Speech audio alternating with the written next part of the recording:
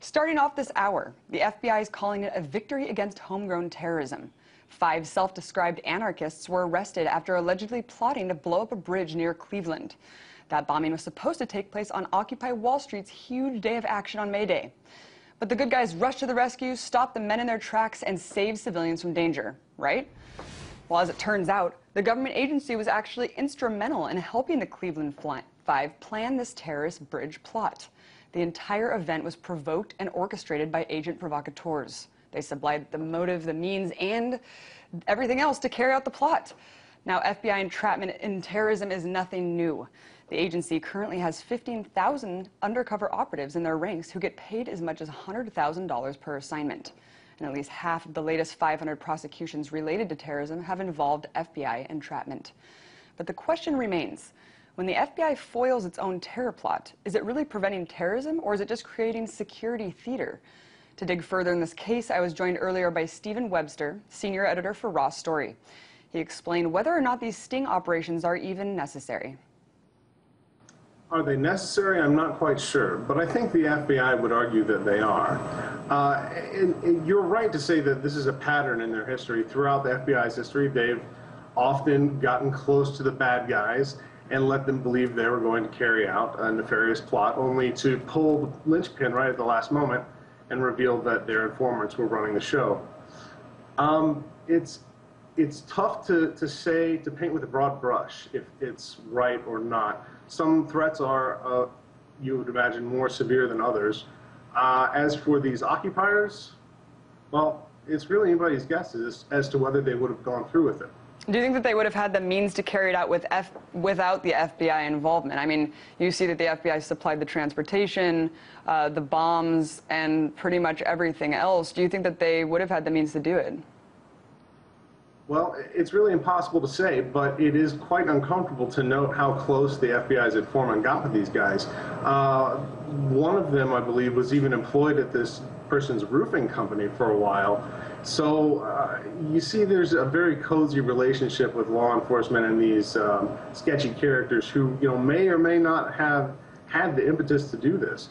Regardless, they did appear to be sort of sympathetic to Occupy's black bloc, which for occupiers is really like a cancer.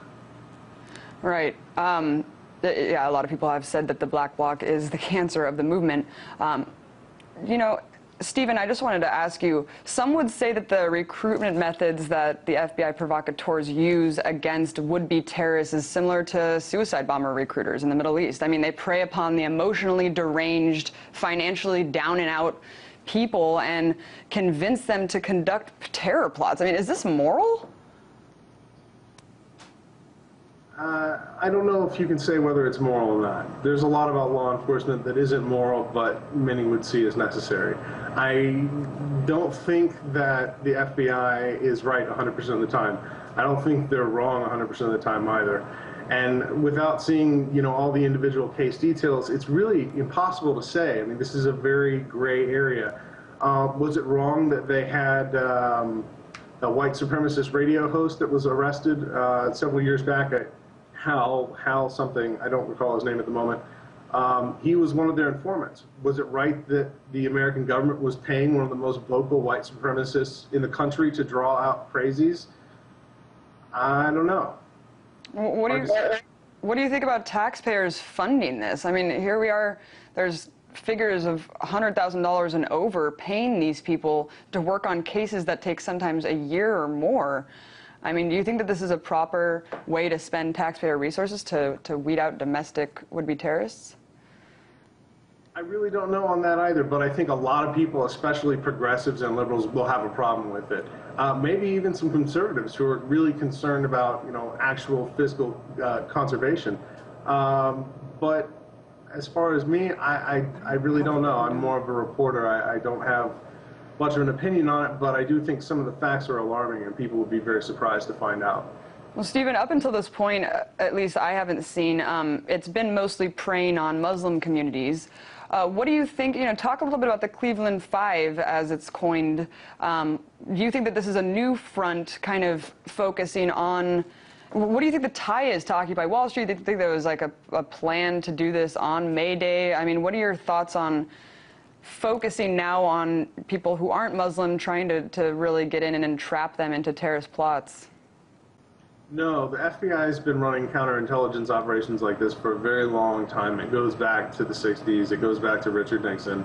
Um, it's that Occupy has been targeted is unfortunate, but not surprising. Um, but I wouldn't be surprised to learn the Tea Party's been targeted as well. I mean, they, they look at right-wing fundamentalists just as much as they look at some of the more vocal left-wing uh, left-wing critics of this government. Um, I think that these individuals uh, in Ohio were unfortunately uh, misled, and from I mean, if, if the quotes in in, in the That's court not- documents are accurate, Um, yeah. Talk a little bit about uh, the timing um, of this foiled plot on the big May Day action. Do you think that that was strategic? Uh, you know, it kind of tainted a lot of the headlines for Occupy Wall Street. Yeah, yeah, it was it was definitely a very unfortunate media hit, and I do think that the FBI probably had some role in fostering that date being selected. Unfortunately, And do you think that this is, do you think the FBI is just grasping at straws here to justify the war on terror's domestic front? I mean, I know you said counterintelligence has been happening and a lot of, spying and these methods have been going on since the 60s, but it just seems like they're ramped up so much after 9/11 and we see time and time again recently, especially in the past recent years of these foiled plots that were orchestrated by the FBI, well, I wouldn't say they were orchestrated by the FBI, but they certainly were. facilitated, facilitated. Yeah. I mean, is this just grasping at straws to justify the domestic front of the war on terror? To some degree, probably. Uh, behind the scenes, I'm sure that there's a lot of, um, you know, painting things with a broad brush in order to make it sound more dramatic than it really is. But uh, by another degree, there are legitimate domestic terrorism threats, and uh, they're, you know, pretty much the only folks out there on a federal level who are really actively policing those. So, again, without going into the details of individual cases, some are more valid than others, and in some cases, though, the FBI has really grasped at straws. We'll definitely keep following these cases as they unfold. That was Stephen Webster, senior editor for Raw Story.